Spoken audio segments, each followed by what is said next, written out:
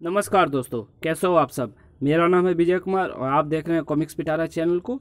दोस्तों, अगर आप इस चैनल पर नए हो या अभी तक हमारे चैनल को सब्सक्राइब नहीं किया है तो प्लीज़ हमारे चैनल को सब्सक्राइब कर दें और साथ में लगे बेल आइकन को ज़रूर प्रेस कर देना, ताकि मैं जब भी इस चैनल पर नई वीडियो अपलोड करूँगा, उसकी नोटिफिकेशन आपको सबसे पहले मिलेगी और आप मेरे वीडियो को सबसे पहले देख पाएँगे।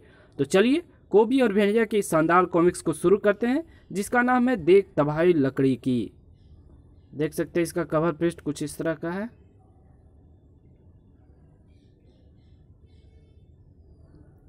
जंगल के जल्लाद कोबी और भेड़िया का रोमांचक कॉमिक विशेषांक। लकड़ियों का जंगल, जहाँ मनमानी चलती है। क्रूर नरभक्षी उत्पाती जंगली मनमानी करते हैं। पोचर्स मनमानी करते हैं। हिंसक पशु मनमानी करते हैं। इन मनमानियों के कारण निर्दोष जंगली संकट में पड़ते हैं। और मनमानियों से जूझने वाला भेड़िया जूझने के लिए हर वक्त तैयार रहता है। बचाओ! जंगल में मनमानी नहीं चलेगी।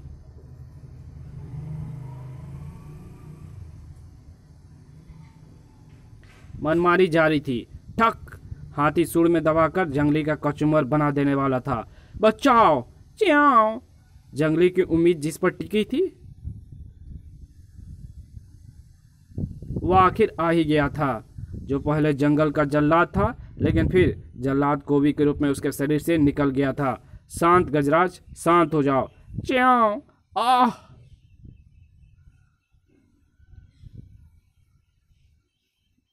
भेड़िया की अंकुशी चोटों से हाथी और भी कुपित हो गया था। ये उसे कुचल डालेगा। भेड़िया देवता, उसे रोको।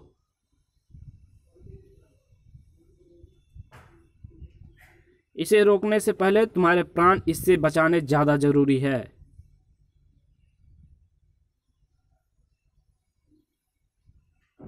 और मैं अपनी इस कोशिश में असफल नहीं होऊँगा। यह अपनी टक्कर से इस पेड़ को भी गिरा देगा। अरे, ये ब्रिज तो ओह! भेड़िया देवता, वो देखो, देख रहा हूँ, ये तो खुद गिर रहा है। इसके अलावा कुछ और भी है। नीचे उतरो। हाथी की भूमि पर ढेर होते ही दोनों ब्रिज से नीचे उतर आए। ये तो मर गया। और, ओह, ये क्या? इस ब्रिज के चारों ओर कई पशुओं के कंकाल पड़े हैं? इनमें मानव कंकाल भी शामिल हैं। ऐसा दृश्य तो मैंने आज तक नहीं देखा। और, अब इनमें इस हाथी का कंकाल भी शामिल हो जाएगा।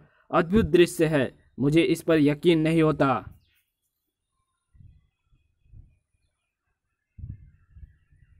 यहाँ से चलो भेड़िया देवता। ये जगह ठीक नहीं हो सकती।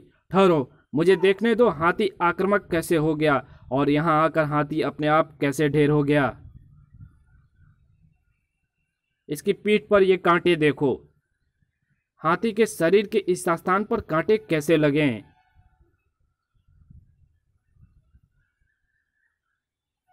ये कांटे किसी शस्त्र से इस पर फेंक कर मारे गए हो सकते हैं। ये तुम्हारे पीछे इसी वजह से पड़ा होगा। तुम वहाँ क्या कर रहे थे?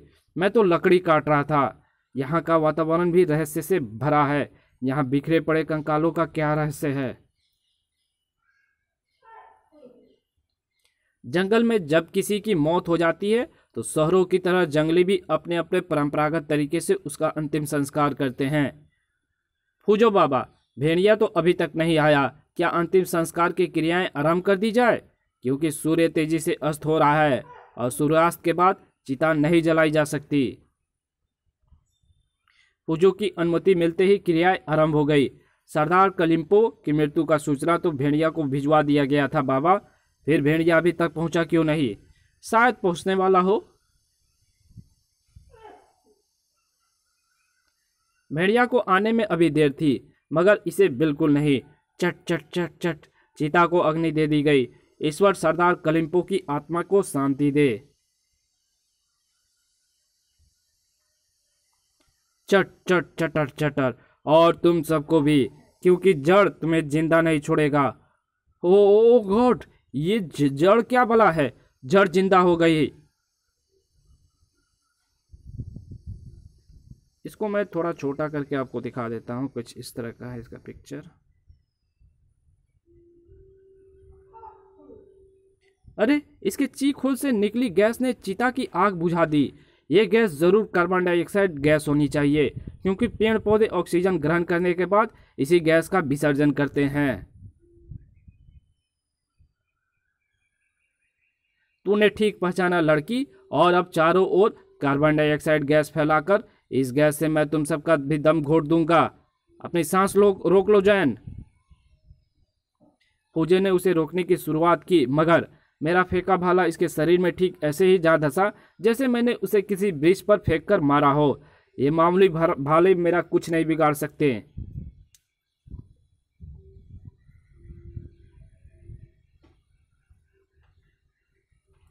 ऐसे तो ये यहाँ तबाही फैला देगा बाबा।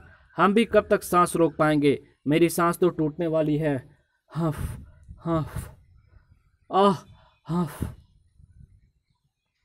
मेरे रहते अगर किसी की सांस टूटेगी तो वो ये शैतान होगा। ओह, इसका शरीर तो कास्ट का बना प्रतीत होता है। भेड़िया। और तेरा हार्ड मान, हार्ड मांस का बना शरीर, इसका कुछ नहीं बिगाड़ सकता। लेकिन मैं अपने कास्ट नाखूनों से तेरे शरीर के पड़खच्चे उड़ा सकता हूँ। भेड़िया का समूचा शरीर ज़मीन से आ लगा।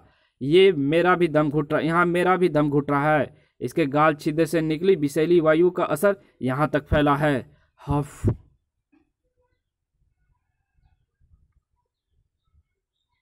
मगर, अब मैं तुझे जहाँ फेंकूँगा, वहाँ जाकर तू विषैली वायु के प्रभाव से मुक्त हो जाएगा। धड़ उफ। ये अजीबो गरीबो प्राणी आया कहाँ से है? धम। भेड़िया। भेड़िया, तुम ठीक तो हो ना? मैं ठीक हूँ, जैन। मगर यह शैतान जो भी है, अब ठीक नहीं रहेगा। अरे, इस स्थान पर जड़ की गैस का विषैला प्रभाव नहीं है? यहाँ मुझे स्वच्छ वायु मिल रही है? मगर जड़ के कारण तो यहाँ विषैली वायु ही फैली होनी चाहिए। इसका कारण मेरी समझ में आ रहा है। इसके दो चिक होल्स में से एक बायां ऑक्सीजन ग्रहण करने वाला है, दूसरा दायां कार्बन डाइऑक्साइड छोड़ने वाला है। इसलिए इसके दाई ओर की वायु विषैलु होती जा रही है और बाई ओर की वायु में भरपूर मात्रा में ऑक्सीजन होने के कारण इस ओर की वायु स्वच्छ है। हमें बाई ओर रहने की चेष्टा करनी होगी।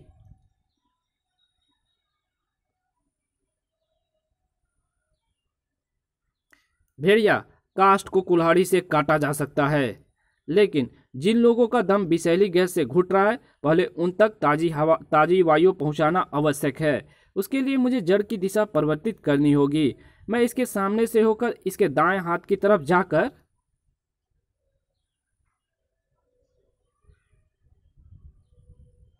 इस पर आक्रमण करता हूँ। मेरे आक्रमण का जवाब देने के लिए जब ये मेरी ओर घूमेगा तो इसका बायां गाल बायां गाल छिद्र जहाँ से ये जीवनदायु वायु को खींच रहा है, उन लोगों की ओर हो जाएगा, जो इसके जो इसके दाल जो इसके दाएँ गाल छिद्र के विषैले प्रभाव में आ चुके हैं। इस प्रकार उन लोगों को स्वच्छ वायु मिल जाएगी और उन पर मडराता मौत का खतरा स्वयं इसी के कारण दूर हो जाएगा। जड़ पर उस ओर से वार करके भेड़िया ने बिल्कुल सही चाल चली है।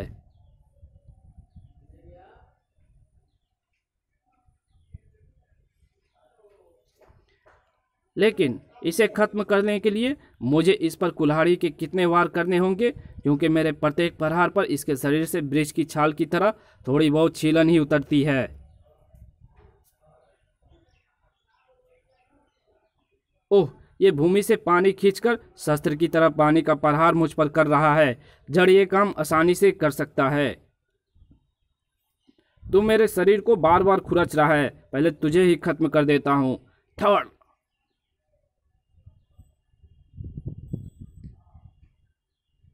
पूजो बाबा, अगर ये कास्ट का बना है तो इसे आरा मशीन पर काटा जा सकता है। मगर आरा मशीन को यहाँ कैसे लाएँगे, या इसे वहाँ तक कैसे ले जाएँगे? उसने भेड़िया को अपने कान में निकली सखा से जकड़ लिया है। भेड़िया जड़ से जूझ रहा है, मैं जड़ के असर से जूझती हूँ। लेकिन तुम आग लेकर उसके पास जाओगी तो वो दाएँ गाल छिद्र की कार्बन डाइऑक्साइड वायु से उसे बुझा देगा।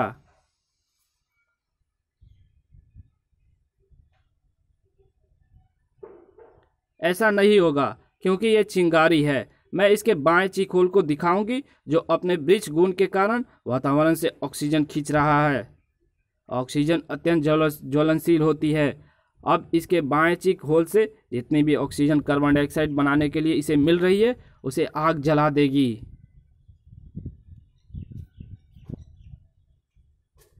इस कारण इसके दाएँ चीखोल से अब कार्बन डाइऑक्साइड का निकलना भी बंद हो जाएगा।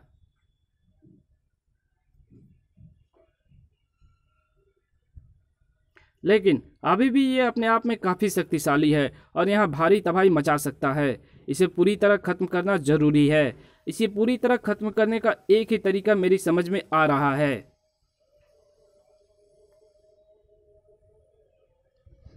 और वो है इसकी जड़ें काटना। थर्ड, अगर ये जड़ है तो जड़ को पोषित होने के लिए सभी पोषक एवं आवश्यक तत्व ज़मीन से ही मिलते हैं। मैं इसकी जड़ें काटकर इसका संपर्क ज़मीन से ही काट देता हूँ। कटाक।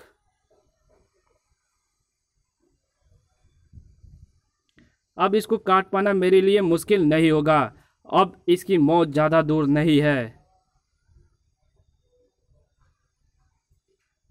कुल्हाड़ी के उस बार में भेड़िया ने जैसे अपनी समझ शक्ति भर दी थी। अब तू होगा लकड़ी की तरह ही दो फाड़। कटाक। ये गिर रहा है। धम। शुक्र है इस मुसीबत से छुटकारा मिल गया। लेकिन ये था कौन? अचानक कहाँ से आ गया? ये देखो ये देखो गड्ढा। ये यहाँ से ज़मीन फोड़कर बाहर निकला है।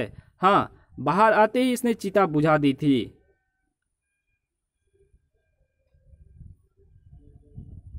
मैं फिर से इसे अग्नि देता हूँ। चिता, तुम चिता का नाम सुनकर चौक क्यों रहे हो, भेड़िया? चिता का नाम सुनकर नहीं चौक रहा हूँ। मैं कुछ और सोच रहा हूँ, क्योंकि अभी थोड़ी देर पहले ही मेरा पाला एक विचित्र स्थिति में से पड़ा था। उसमें जो बात प्रमुख थी, वो थी कांटे और वो चमत्कारी विशाल वृक्ष। भेड़िया ने उस वृक्ष के विषय में बताया।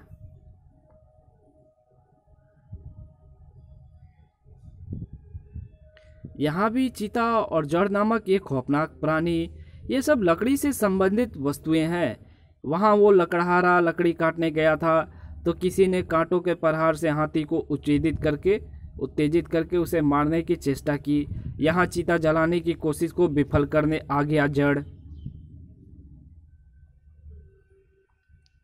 ये काम काठियों के अलावा अन्य किसी का नहीं हो सकता। कौन काठिए? आज तक उन्हें किसी ने नहीं देखा। जंगल में केवल इनकी दंत कथा प्रचलित है, और वो भी एक नहीं कई दंत कथाओं के मुताबिक काठिए असम के जंगल में ही कहीं रहते हैं। एक मान्यता तो ये भी है कि काठिए काठिए सब तुक मनाने 20 वर्षों में एक बार जंगल में प्रकट होते हैं और फिर वृक्षों में बदल जाते हैं। सप्तुक क्या वो कोई उत्सव है?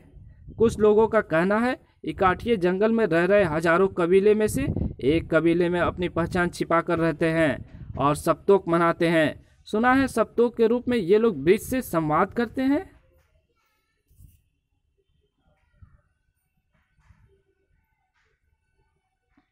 उनका मानना है कि उनके पूर्वज की आत्माएँ वृक्ष एवं जड़ों वृक्ष एवं पेड़ पौधे में वास करती है और वे वही वृक्षों को जीवन देती हैं। उन्हीं की बदौलत वृक्ष फलते फूलते हैं और काठियों के लिए प्राणवायु विसर्जित करते हैं।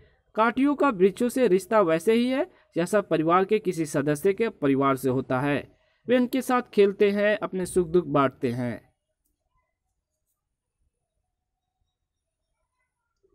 ये लोग वृक्ष से बातें करना जानते हैं।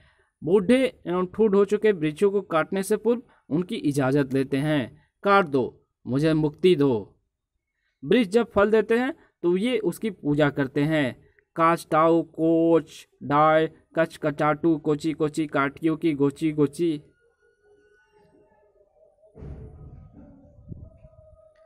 जब वृक्ष समय पर फल एवं औषधि ना दे तो उसकी जमकर पिटाई की जाती है। मागडो मांडा, ना फूलो, ना फलो, ना औषधि। इनकी पिटाई से भी वृक्ष भी वृक्ष भी घबरा जाते हैं। अगर तुरंत क्षमा ना मांगे तो इसे काट कर उसके टुकड़े टुकड़े कर देते हैं। माफ़ी क्षमा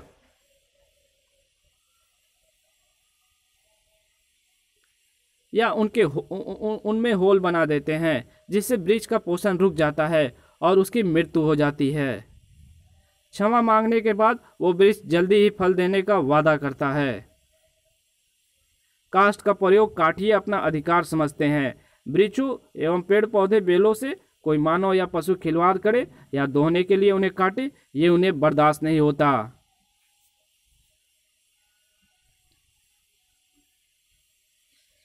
ये उन्हें भयानक सजा देते हैं। उफ! उन्हें रक्त से वृक्षों को, उन्हीं उनके रक्तों से वृक्षों को सींचते हैं। कुष्ठ, लताएँ पेड़ पौधे इनका आदेश मानते हैं। संसार में जहाँ भी लकड़ी की एक छोटी सी फांस भी होगी तो वो उनका आदेश आदेश नहीं डाल सकती। ये कास्ट तंत्र के माहिर हैं भेड़िया। फिर तो एक तरह से ये जंगल, पर्यावरण, धरती एवं मानवता के रक्षक हुए हैं। ज़रूर हुए मगर लकड़ी सदियों से मानव की आवश्यकता बनी हुई है। अगर लकड़ी लेने पर यह हिंसकता दिखाने, दिखाते हैं तो वो न्यायोचित नहीं है। क्या चीता जलाना अनुचित है? लकड़ियों के बिना ये कैसे संभव होगा? जिस वृक्ष को तुमने देखा, शायद वो एक हज़ार वर्ष पुराना तड़पन वृक्ष है, जो हज़ारों वर्षों तक भी हरे भरे रहते हैं। ऐसे वृक्ष काठियों के लिए पूजनीय वृक्ष होते हैं। सवाल ये भी है, सवाल ये भी तो उठता है कि ब्रिज के नीचे तो हम भी गए थे, लेकिन हमें कुछ नहीं हुआ, जबकि वहाँ हमने मानव के कंकाल भी देखे थे।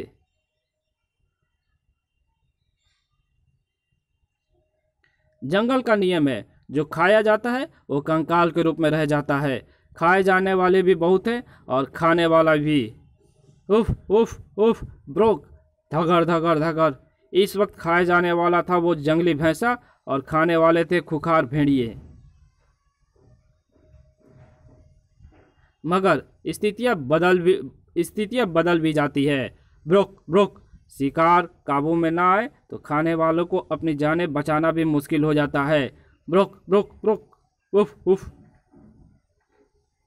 जंगल में ताकत का बोलबाला है। कार्यों की तरह दुम दबाकर कहाँ भागे जा रहे हो धामड़ो?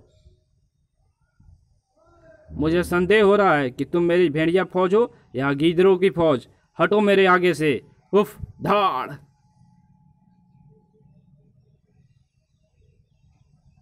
दुम का प्रयोग मक्खिया उड़ाने के लिए किया जाता है। नाक काटने के लिए नहीं, मगर दुम दमाकर भागकर तुमने कोबी की नाक कटा दी, कम वक्तों अब मुझे अपनी नाक फिर से जोड़नी पड़ेगी। धाड़। उफ उफ। और यहाँ से जाना मत, कम वक्तो मैं ये भैंसा अभी तुम्हें खाने के लिए ला कर दूँगा।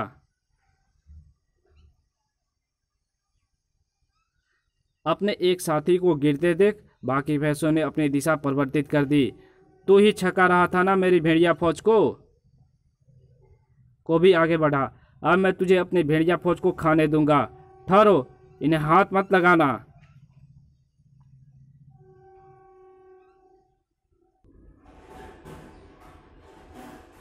इसे हाथ क्यों ना लगाऊँ?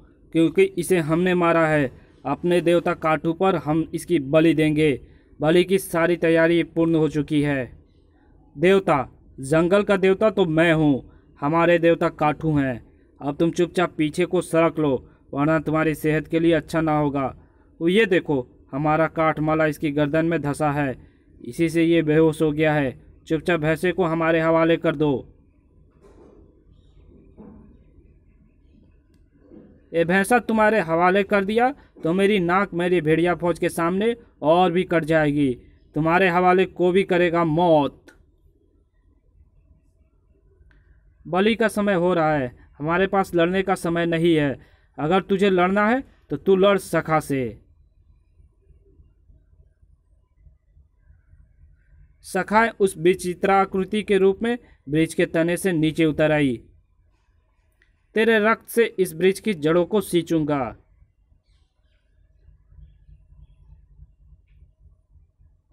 तेरे पास बांधने के लिए सखाए हैं तो मेरे पास इन नाखूनों को इन सखाओं को काटने के लिए ये तेज नाखून। कटा कट। इस बार मैं तुझे हाथ हिलाने की भी इजाज़त नहीं दूँगा। ताकत का प्रयोग करने के लिए हाथ की नहीं ताकत की ही ज़रूरत होती है। ये देख, कड़ाक। धार। तो अब दिखा अपनी ताकत। सखा फ़िलहाल कोबी पर भारी पड़ रहा था। अब तू अपनी ताकत नहीं दिखा पाएगा।